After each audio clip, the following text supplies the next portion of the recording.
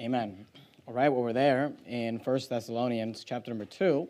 And uh, well, like we've been announcing, we are going through a series on Sunday nights called Declaring Doctrine. And we're just simply going through a systematic study of, of theology, of major doctrines in the Bible. This is the type of uh, study that is usually done in Bible college or seminaries. Um, I don't believe in either one, so I figure we'll do it in church, which is what God actually established. And I think it's good because the point is this: the re- you say, why would you why would you spend these weeks learning doctrine? Because I don't want you to be carried about with every wind of doctrine.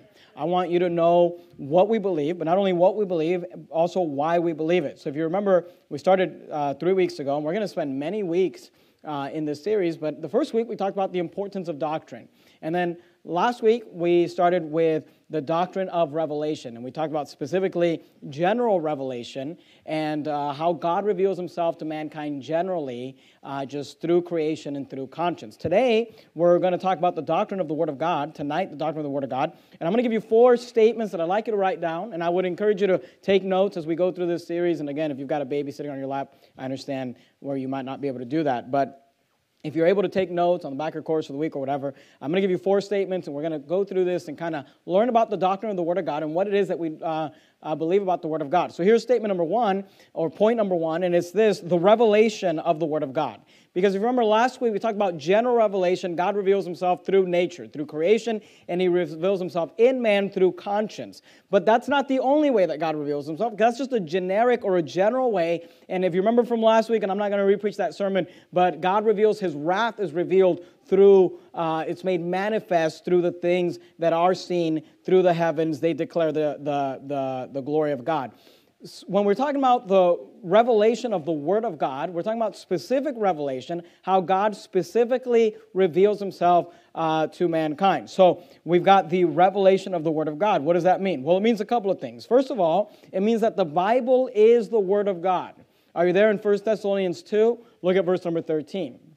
1 Thessalonians 2:13, the Bible says this: For this cause also thank we God without ceasing, because Notice what Paul says to the church in Thessalonica. He says, When ye received the word of God, which ye heard of us, and I want you to notice there that he says, which ye heard of us. And we're going to come back to that thought later in the sermon. He says, Ye received it not as the word of men, but as it is in truth the word of God, which effectually worketh also in you that believe. So I want you to notice that Paul said, when you heard the word from us, when you got these epistles that we're writing and we're studying to you, you did not receive those as the word of men. And today many people say, oh, the Bible's just written by man.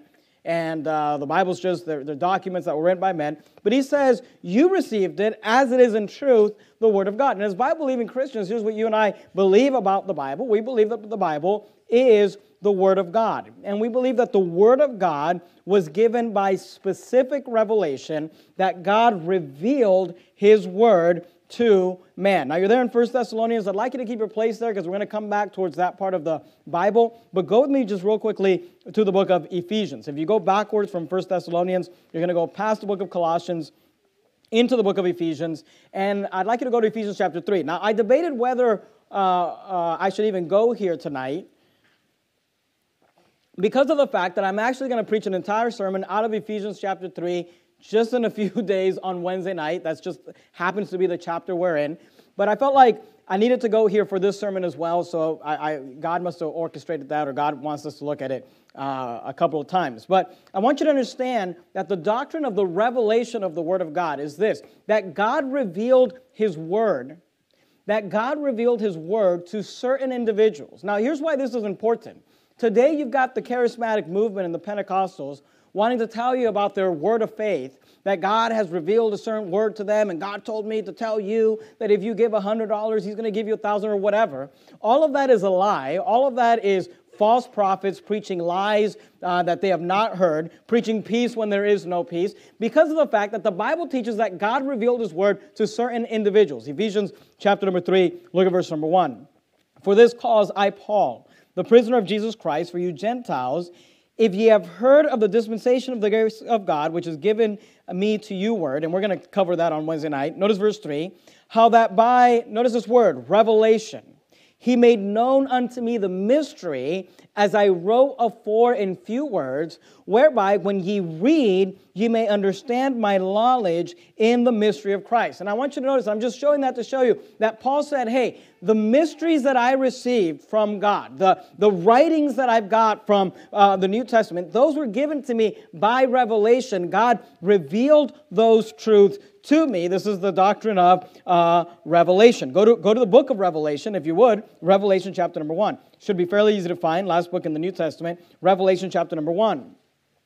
Revelation chapter number one. If you've got a Bible that has headings or notes, oftentimes the book of Revelation is referred to as the revelation of St. John or the revelation of St. John the Divine. Here's what I, I always kind of chuckle when I read that because in Revelation chapter 1 and verse 1, here's what the Bible says the revelation of Jesus Christ, which God gave unto him to show unto his servants things which must shortly come to pass, and he sent and signified it by his angel unto his servant John. You say, what does that mean? Here's what that means that God revealed certain things to the Lord Jesus Christ, and then he sent and signified it by his angel unto his servant John. So, how did John get the book of Revelation? It was revealed to him through a supernatural process. How did uh, Paul get uh, revelation? It was revealed to him through a supernatural process. See, we believe in the doctrine of the Word of God, and what that means is that we believe in the revelation of the Word of God, that God revealed His Word, and that what we hold in our hands as a Bible is not a book that was written by men, men were used to pen it down, but it is as it is in truth the Word of God. It is the Bible. The Bible is the Word of God, and the Bible was revealed by God. So we said number one, the revelation of the Word of God. God revealed His Word to mankind. Now, God reveals Himself. God reveals Himself generally to all mankind through creation and conscience. We talked about that last week. But then God specifically reveals Himself to us through His Word. There's a second aspect to this doctrine, uh, that you need to understand. I'd like you to write it down. If you kept your place there in 1 Thessalonians 2, I'd like you to, uh, from 1 Thessalonians, go to 2 Timothy. So if you're in first, if you kept your place in 1 Thessalonians, you're going to have the book of 2 Thessalonians, then the book of 1 Timothy, and then go into the book of 2 Timothy, 2 Timothy chapter 3. When we're talking about the doctrine of the Word of God, there are certain concepts you need to understand about the doctrine of the Word of God. The first is the revelation of the Word of God, that God revealed Himself specifically to mankind through His Word. Secondly, you need to understand the inspiration of the Word of God. 2 Timothy 3:16 the Bible says this, all scripture. Now the word scripture is just a Bible word referring to what you and I would call the Bible or the word of God. All scripture is given by, and I want you to notice this word, inspiration of God. Now, what does that mean? Usually, when you and I see this word inspiration, or when you and I use it in our modern uh, vernacular, when we talk about someone being inspired or I receive some sort of inspiration, what we're talking about is like an emotion that we receive where you know you heard some song and it touched you a certain way or you heard a poem or you heard something that kind of and you you were inspired by it. But that is not what the bible or the biblical definition of the word inspiration. The word inspiration has to do with your breath. When if you one of the definitions of the word inspiration if you were to look it up and i'll just read it uh, for you it, it's literally the definition is to breathe in air or to inhale. And here's what what, what the Bible means. When the Bible says that all scripture was given by inspiration of God, it means this that it was given from the breath of God. That God's breath, that God's inhale and exhale took process in giving us the Word of God. You say, what does that mean? Here's what that means it means that our Bible, the Bible, was not only given by revelation to man, but that the inspiration of the Word of God means that the Bible was spoken by God. God spoke His Word. See, when I stand up and I speak, I open my mouth and I inhale and I exhale, and there's inspiration, there's breath in, in the inhaling process of speaking. And the Bible tells us all scripture was given by inspiration of God, meaning God spoke, God literally opened his mouth and spoke his word. And he says, because all scripture was given by inspiration of God, all scripture is profitable for doctrine, which is what we're studying on Sunday nights, for reproof, for correction, for instruction in righteousness, that the man of God may be perfect, thoroughly furnished unto all good works. Go to Exodus chapter number 20. Exodus chapter number 20. Let me show you this in uh, the book of Exodus. We're going to look at a lot of passages tonight. We're just, just be ready to just flip through your Bible. We're, we're studying, if you're going to study the doctrine of the Word of God, you're going to have to flip through the Bible, okay? Through the Word of God. Exodus chapter 20. Now, Exodus chapter 20 is a famous chapter that's known for the Ten Commandments. It's one of the two places in our Old Testament that we have the Ten Commandments. And it's not just the Ten Commandments, there's a lot that goes into that and a lot of descriptions and things. But I want you to notice how the chapter begins. Exodus chapter 20 and verse 1.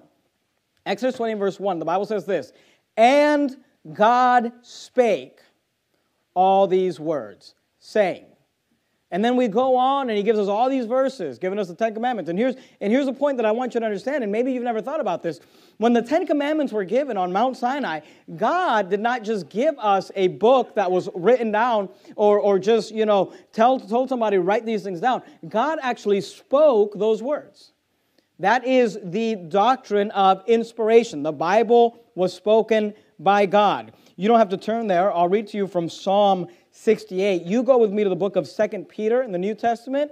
If you start at the book of Revelation and head backwards, you've got Revelation and Jude, 3rd, 2nd, and 1st John, and 2nd Peter. You go there, I'll read for you from Psalm 68 11.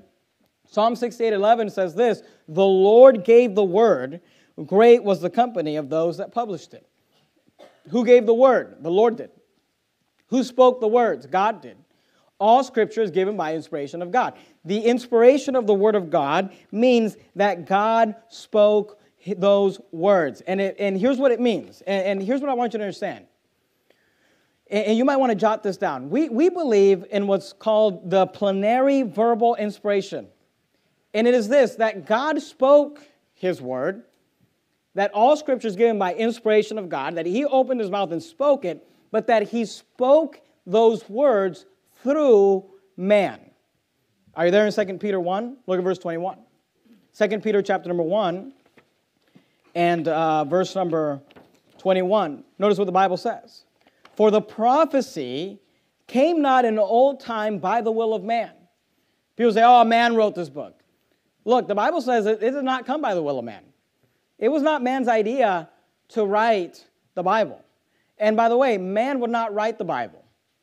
Man likes to write books that tells you how good you are, how great you are, just try a little harder, you'll be fine. When man comes up with religions, you know what they say? They say, "Oh, you just live a good life and then you're going to you're you're going to become a god or you're going to go into some sort of a great state. You're going to become like a Those are the kind of books that men write. The Bible would not have been written by man. Man would not write man would not write a book that says, "We're all sinners, we deserve to go to hell." For the prophecy came not in old time by the will of man. So how did it come then? Notice, but holy men of God, and I want you to notice the, the emphasis holy men of God spake as they were moved by the Holy Ghost.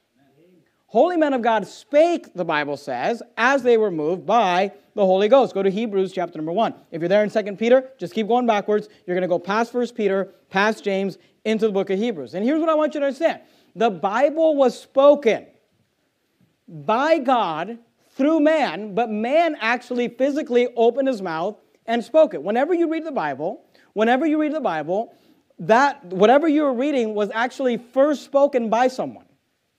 For the prophecy came not in old time by the will of man, but holy men of God spake as they are moved by the Holy Ghost. And by the way, I'm not preaching on the subject of the King James Bible tonight. We will hit that in this series. I'll do a sermon on the doctrine of the King James Bible. But let me just say this this is why you want to be careful about getting in arguments about. Sometimes people like to argue about the King James Bible, and they'll argue about King James Bibles, and they'll say, well, one is uh, uh, has uh, capital letters here, and it doesn't have capital letters there, or it doesn't uh, have the, the same spelling here, or the same spelling there. And, and there's a place for that, and, and capitalization, there, we can talk about that, and there's definitely arguments to be made there, but just realize this that when the Bible was given to man, it was given in oral form, it was spoken. And none of these men were saying space, capitalize, you know, next word. They were speaking the Word of God. They were speaking the Word of God as it was given to them through revelation. Holy men of God spake as they were moved by the Holy Ghost. Hebrews chapter 1, look at verse 1. God, who at sundry times and in diverse manners, that's just a fancy way of saying in different ways at different times, Notice, spake in time past. Who spake? God did. God spake in time past unto the fathers. Notice, how did God speak? By the prophets. Hath in these last days spoken unto us by his Son, whom he hath appointed heir of all things, by whom also he made the world. So notice, God spake in time past by the prophets, and in these last days, God has spoken unto us by his Son. So when we talk about the Word of God, what do we believe about the Word of God? Here's what we believe we believe that God revealed himself through his word and that he, it was given through inspiration, that God spake the words and that they were spoken through men. Go to Acts chapter number 1.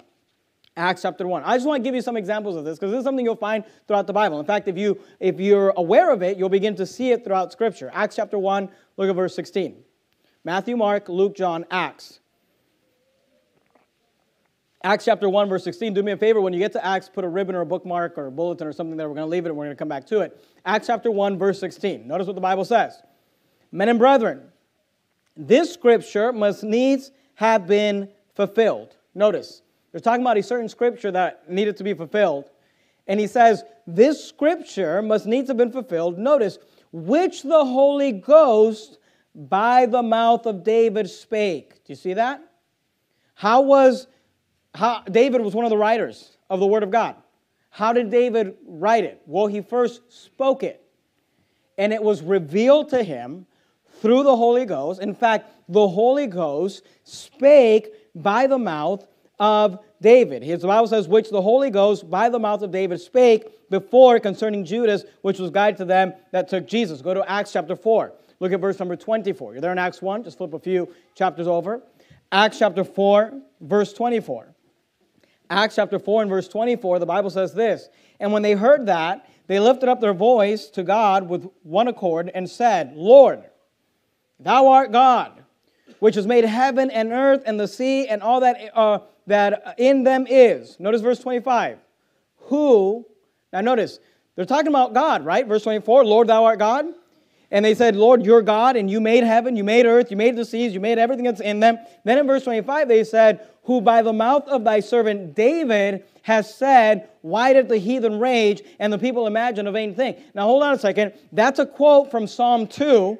And here the Bible tells us that God actually spoke those words by the mouth of thy servant David. So when we're talking about the doctrine of the Word of God, what are we talking about? What do we believe? Well, we believe in the revelation of the Word of God, the specific revelation that God revealed Himself to mankind, and we believe in the inspiration of the Word of God, that God spoke those words, and He spoke them through man, and that God spoke His Word through men. Go to Jeremiah 36. Jeremiah 36, towards the end of the Old Testament, if you start at the center of the, your Bible, you're more than likely to find the book of Psalms. Right after Psalms, you have Proverbs, Ecclesiastes, Song of Solomon, Isaiah, Jeremiah. Now, while you turn there, I'll read to you from Psalm 23 just to give you one last uh, verse on that subject. Now, these be the last words of David. David, the son of Jesse, said, And the man who was raised up on high, the anointed of God of Jacob, and the sweet psalmist of Israel said, The Spirit of the Lord, this is what David said, The Spirit of the Lord spake by me, and his word was in my tongue. David said, The Spirit of the Lord spake by me. So if you ask David, David, did you write down the words of God? He would say, No, I actually spoke the words of God. The Spirit of the Lord spake by me, and his word was in my tongue. This is called inspiration. The words of God were spoken, they were spoken by God, and they were spoken through men.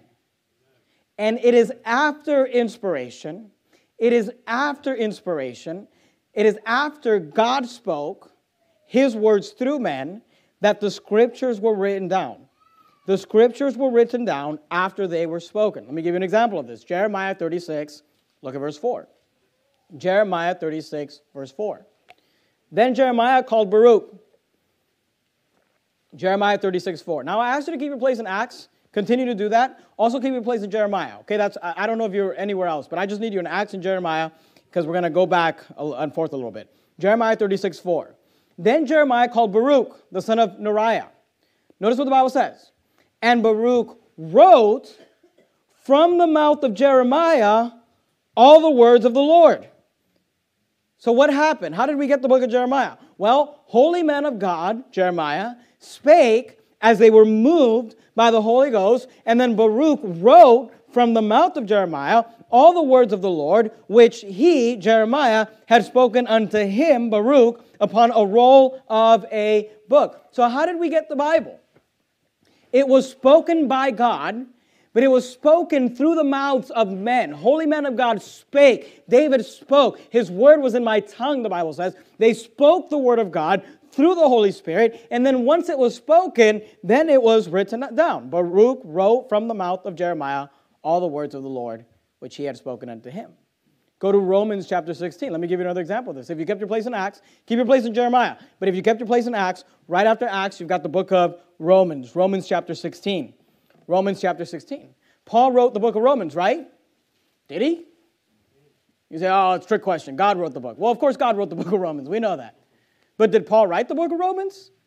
Or did he just speak under the inspiration of the Holy Ghost? Holy men of God spake as they were moved by the Holy Ghost. Well, notice what Romans 16, verse 22 says.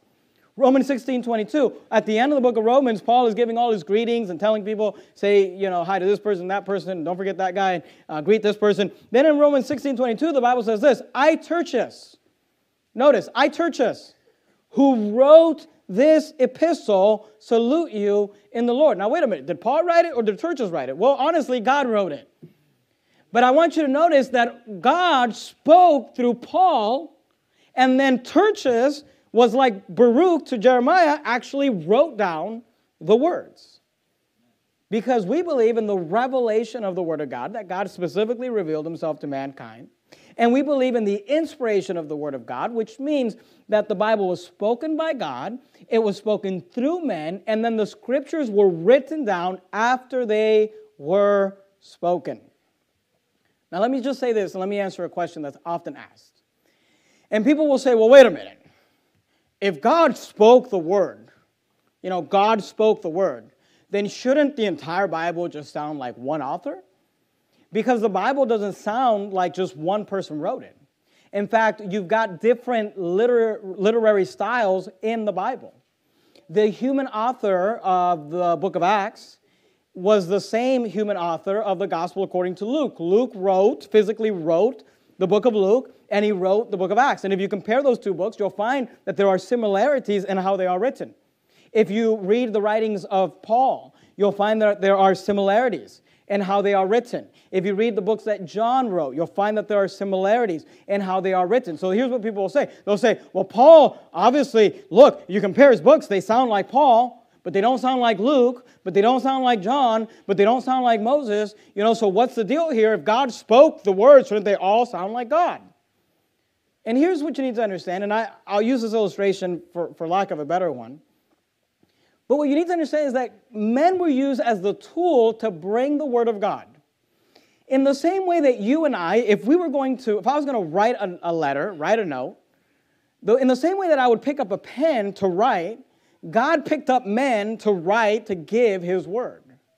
Now, I don't know about you, I'm a little odd when it comes to pens or whatever. I've got a certain, brand that I like, and I got certain pens that I like. And you know, if you if you were to come into my office, you would find three different types of pen, or the same type of pen, but three different uh, widths in those pens. And uh, the number seven is the one that I generally use if I'm just writing notes, if I'm just writing a, a note to someone or whatever. I generally use the number seven if I'm going to write notes in my Bible, which I really like to write notes in my Bible, because of the fact that the Bible pages are kind of thinner, I like to use the number five. It's a little thinner and it's a little less thick. So if I'm writing notes in my Bible, I use the number five. Sometimes if I want to uh, write an angry letter to, you know, one of my staff guys or something, I, am going to pull out that number 10, you know. Please do this or whatever, you know. Uh, and you say, well, nobody uses pens anymore. In the same way, you would use different fonts, right? Usually, most people use uh, Times New Roman if they're just writing anything. But if you're writing uh, uh, a marriage, an invitation to a marriage, you're going to use a fancier font, right? You might use different fonts for different things. Here's the point the Bible, and I don't have time to develop this, I'm actually going to preach an entire sermon about this next week, where we're going to go through and break the Bible down for you because here's what you need to understand the Bible is divided into all sorts of different sections. We've got poetic books and historical books, we've got apocalyptic books, we have all sorts of different writing styles.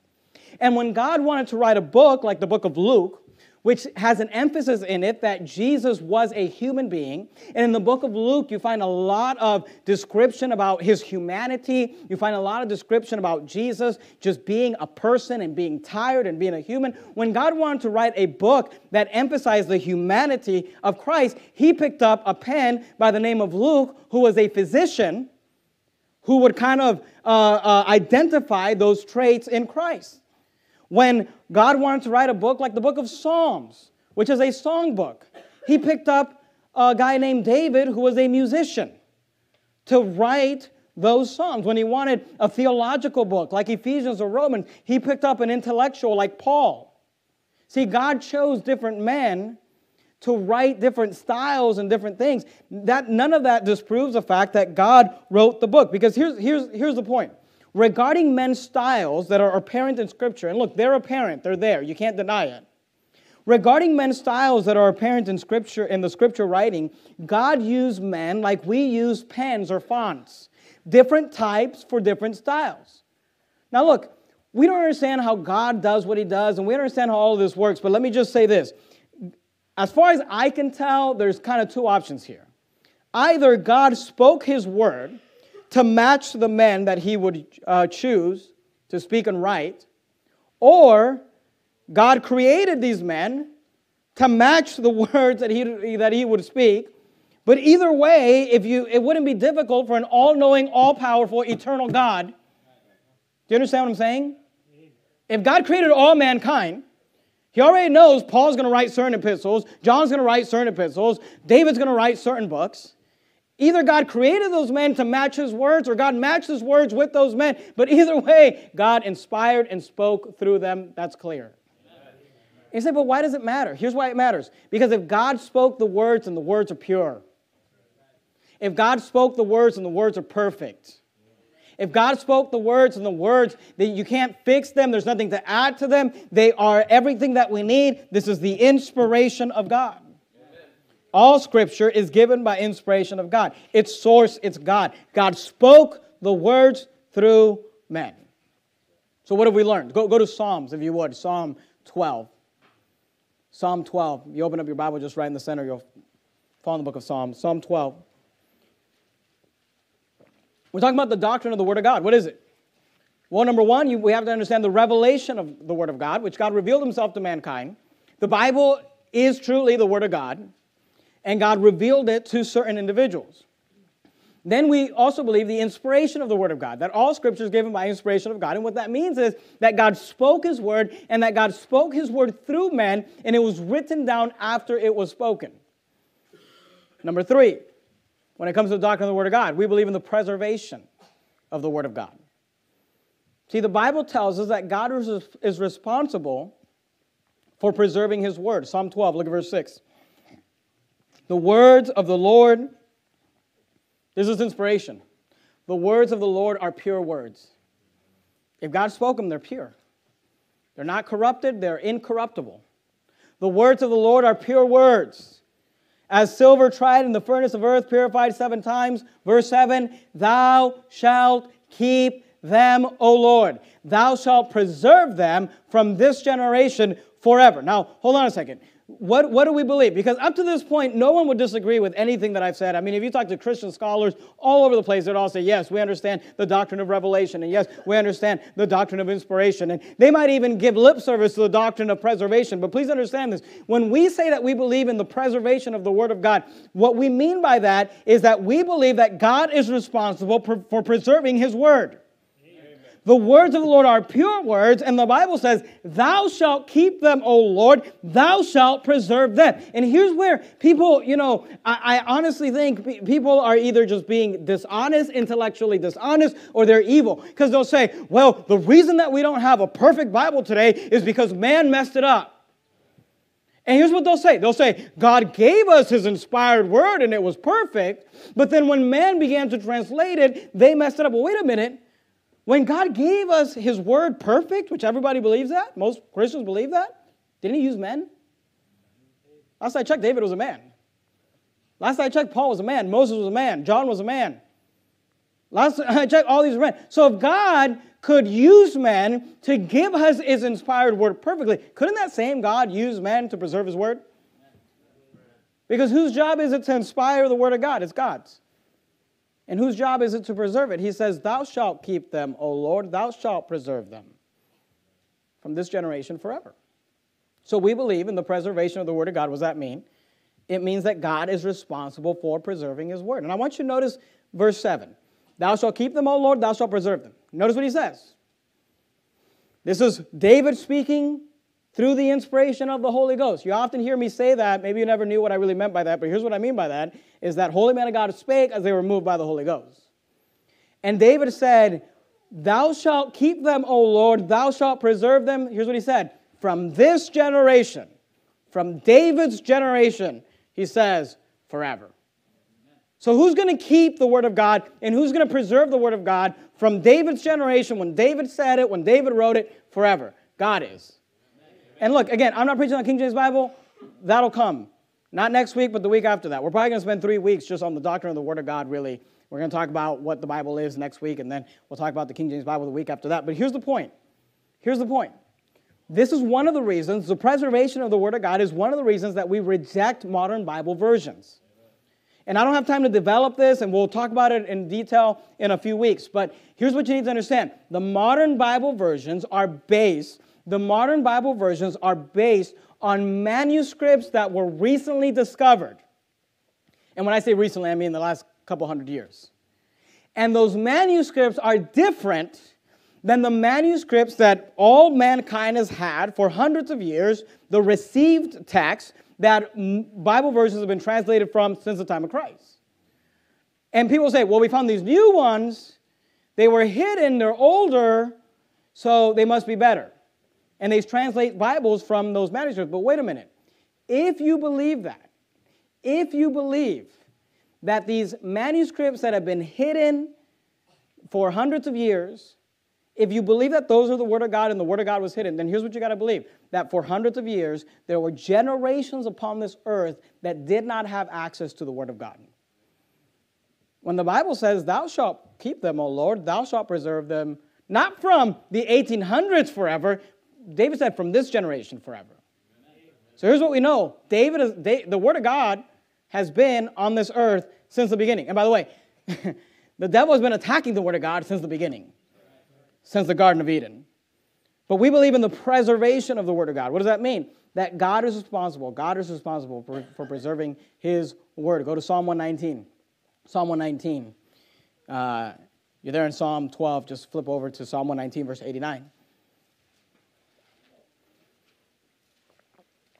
Psalm 119, 89, the Bible says this Forever, O Lord, forever, O Lord, forever, O Lord, thy word is settled in heaven.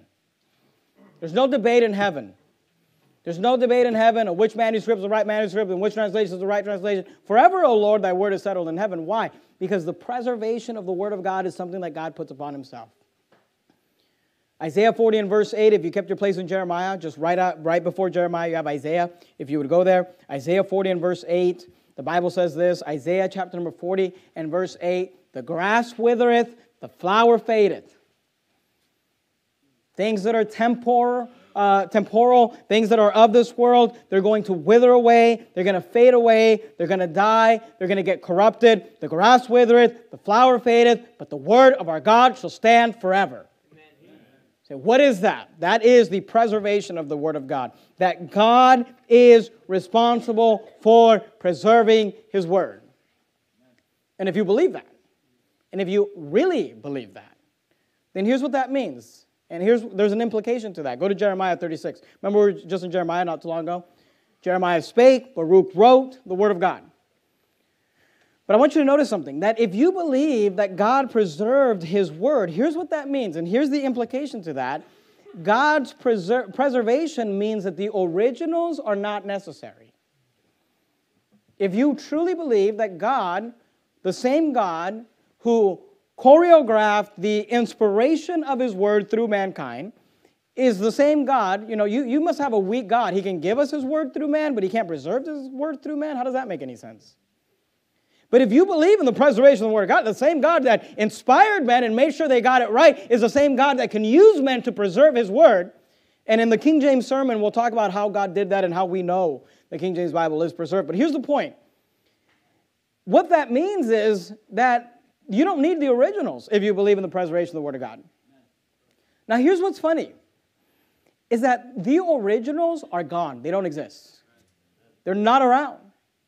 And even the modern Bible version people will tell you the originals are gone.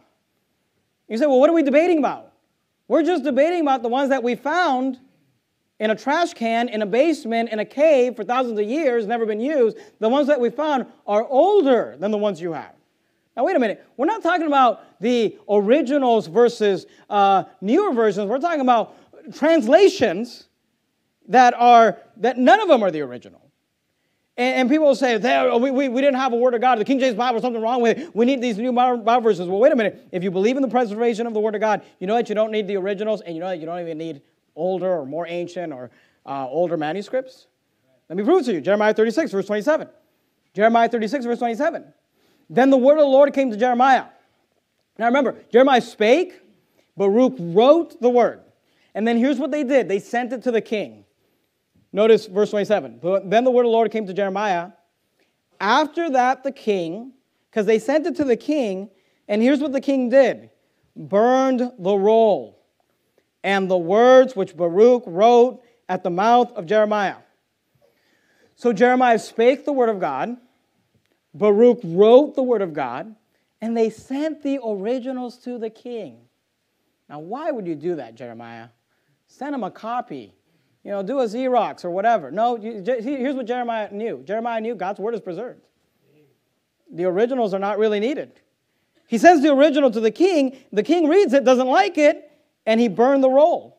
And the words which Baruch wrote at the mouth of Jeremiah, the originals were destroyed. What do we do?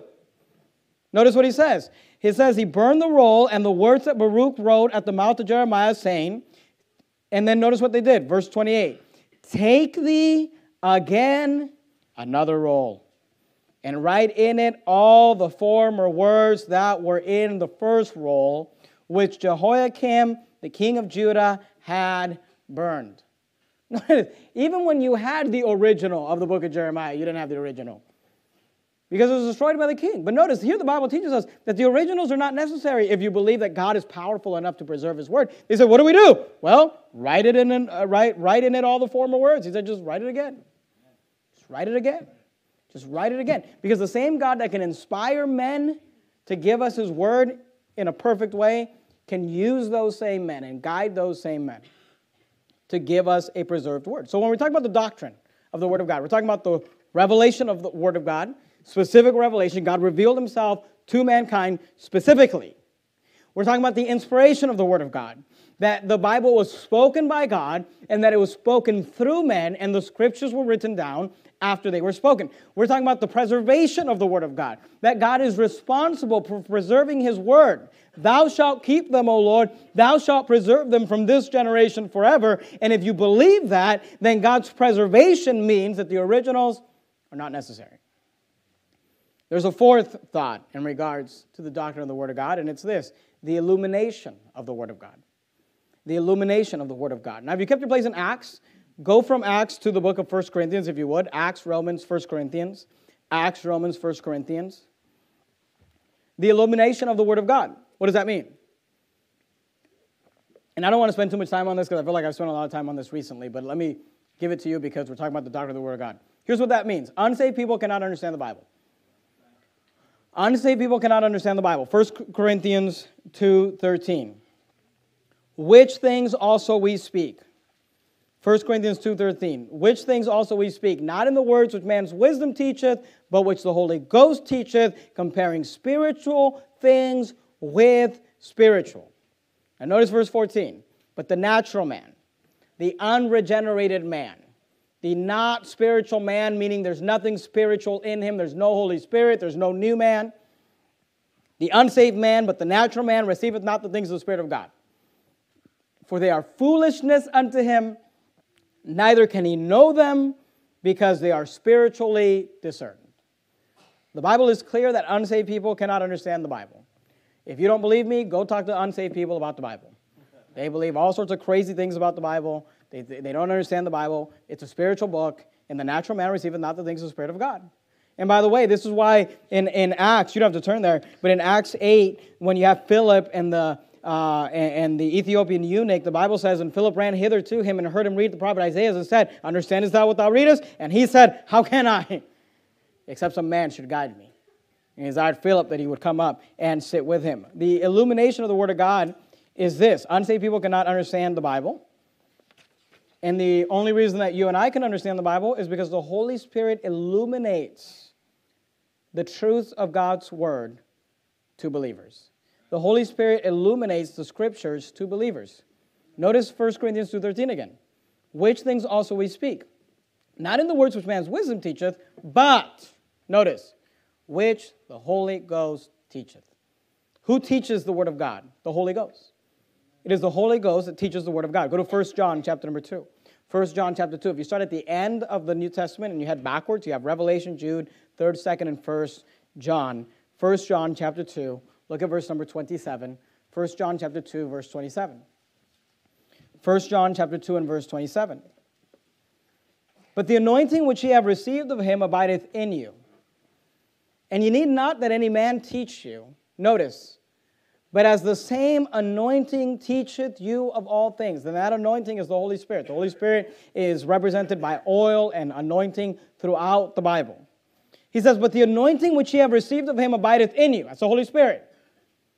And you need not that any man teach you, but the same anointing teacheth you all things, and is truth, and is no lie, and even, notice, as it hath taught you, ye shall abide in him. See, the Holy Spirit illuminates the Word of God for us. John chapter 14, if you would. Uh, John chapter 14. We're going to look at, at three more passages, okay? Two of them are in John. We'll do it quickly and we'll be done. John chapter 14, Matthew, Mark, Luke, John. John chapter 14, look at verse 26. John 14, 26. Notice what Jesus said, but the Comforter, which is the Holy Ghost, whom the Father will send in my name, notice, he, who? The Holy Ghost, the Comforter. He shall teach you all things and bring all things to your remembrance, whatsoever I have said unto you. Go to John chapter 16. John chapter 16, verse 13. John chapter 16 and verse 13, the Bible says this, Howbeit, John 16, 13, howbeit when he, the Spirit of truth, is come, he, who's he? The Spirit of truth, the Holy Spirit. He will guide you in all truth. The Holy Spirit will guide you in all truth. The Holy Spirit is the one that will teach you the Word of God. The Holy Spirit is the one that illuminates the truth of God's Word to believers. Go to 1 Thessalonians chapter 2, is where we started this evening. 1 Thessalonians chapter 2. We've been talking about the doctrine of the Word of God. What does that mean? Well, there's four concepts to that doctrine. One is the revelation of the Word of God. That is, that the Bible is the Word of God, and that the Word was given by specific revelation to specific people by God. Secondly, is that we believe in the inspiration of the Word of God, that the Bible was spoken by God and it was spoken through men, and then the scriptures were written down after they were spoken. Thirdly, we believe in the preservation of the Word of God, that God is responsible for preserving His Word, and that God's preservation means that the originals are not necessary. And fourthly, we believe in the illumination of the Word of God, that unsaved people cannot understand the Bible. And if you don't believe me, go talk to a Catholic. Go talk to a Mormon. Go talk to Jehovah's Witness. Go talk to any false religion that thinks they understand the Bible. And you'll be shocked how much they don't understand the Bible because unsaved people cannot understand the Bible. But the Holy Spirit illuminates the scriptures for believers. Because of this, because of this, we can agree with 1 Thessalonians 2:13. For this cause also thank we God without ceasing for this cause also thank we God without ceasing. Because when ye received the word of God, which ye heard of us, right? Because it was spoken, ye received it not as the word of men, but as it is in truth the word of God, which effectually worketh also in you that believe. I, am not sure if you've really understood or if I've done a good job at communicating the implications of the doctrine of the word of God, but if you believe the things that I've showed you tonight, then here's what you believe that when you and I open this book, we hold in our hands the words of God. I mean, do you understand what I just said? The words that God spoke. these words that God gave you and I, that God wrote, that God spoke, and then wrote a letter and letters and instructions. And He tells us how to be saved. He tells us the need of salvation. He tells us how to be a good husband, how to be a good wife, how to be a good steward, how to be a good employee, how to be a good father, how to be a good mother, what He expects from us, what to do with our finances, what to do with our emotions, how to win. He, he explains to us the things of the Word of God. And here's all I'm telling you. Sometimes I think you and I just intellectually say, oh, yeah, this is the Word of God. But in application, we don't act like it. I mean, do you understand that when we open up this book, we are opening up the mind of God? That God has spoken His word and revealed Himself to you and me. And yet we skip church for a football game. And yet we open up the Bible and we act flimsy about it and weak about it and we act like it's any little thing. Look, this is not a book like any other book you read. When the Bible, when the Word of God is open, there ought to be a holy hush. There ought to be some respect and some reverence.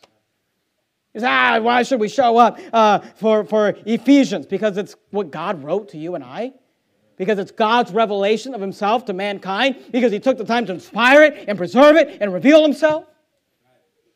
And it's everything you need for life. So, yes, we do not accept the Bible as a book written by men, but we accept it as it is in truth the Word of God. Amen. And you and I would be wise to live like it, to live like God has instructed us in His Word. Let's bow our heads and have a word of prayer. Heavenly Father, Lord, thank you. Thank you for taking the time to reveal yourself to us. And Lord, we thank you that you would give us, that you would speak to us, that you would speak and inspire your words and that you would not just give them to a select group of select men, but that you would preserve them for all mankind. And Lord, we thank you that at salvation you gave us the Holy Spirit to help us understand it and illuminate it for us. And Lord, I pray that every day you and I, that every day the, the, the people in this room, that all of us would stand up, wake up every day, and realize what a precious thing we have in the Word of God that we would read it, that we would study it, that we would memorize it, that we would learn it and apply it to our lives. Lord, thank you for revealing yourself to us. In the matchless name of Christ, we pray. Amen.